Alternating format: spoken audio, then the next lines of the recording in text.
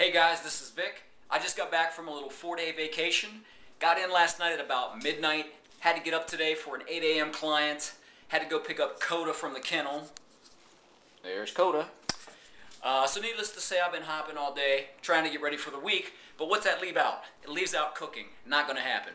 I was able to uh, carve out about 45 minutes to run to the grocery store and come back. But for the rest of the week, I'm not going to have time to cook. So what do you do? I'm going to show you what I do.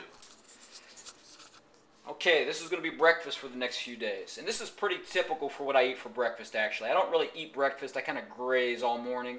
So here we've got a bag of walnuts, and then we've just got some fruit, you know, apples and bananas right now.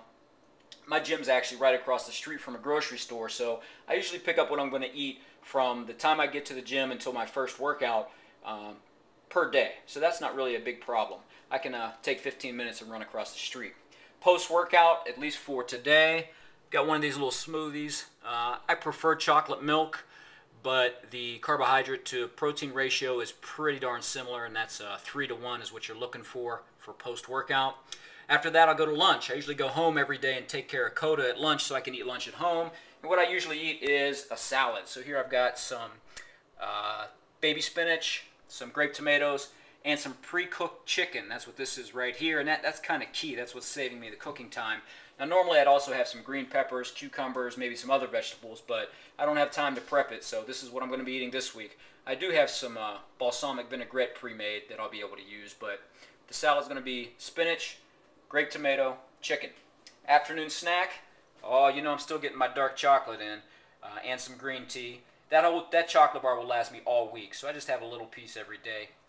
And then in the evening, while I'm teaching my classes at my gym, it's more fruit and nuts and I have some of that in my office at the gym. And then when I get home at night, I usually get home about 9 o'clock at night.